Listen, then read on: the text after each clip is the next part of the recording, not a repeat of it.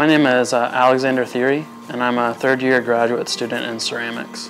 I hand build uh, ceramic furniture uh, that's sculptural and uh, kind of represents different people in my life, and that work is all based on memory. But also, I have been very interested in 3D uh, printing and the different technologies in ceramics. I went to uh, Peters Valley School of Craft this past summer and during my time there, an artist named uh, Brian Siebes, he did a workshop and I assisted him during that where we built eight uh, 3D ceramic extruding printers.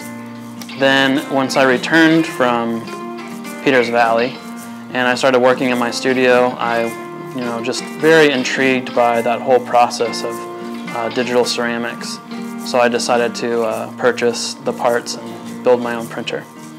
I got the, uh, the KU Ceramic Summer Travel Grant, um, and that's used for uh, professional development for members of the uh, KU Ceramics Club. And so that funding allowed me to not have to work in the summer, uh, to where I could go do this assistantship. I don't think I could have done that without um, some funding help from KU.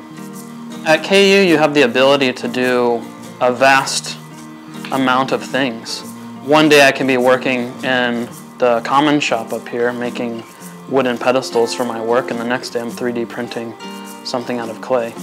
You're really focusing on uh, creative problem solving and critical thinking. Um, and so not only are you thinking about you know, um, measurements and how to uh, formulate your clay and glaze, but you're also thinking creatively about, okay, I want to make this one thing, how do I make that? And um, troubleshooting that.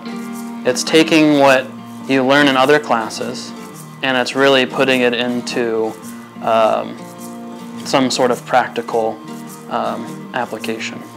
Some advice I would give is to take any opportunity that you can, um, whether it's being able to assist someone or uh, meet people or go to a conference.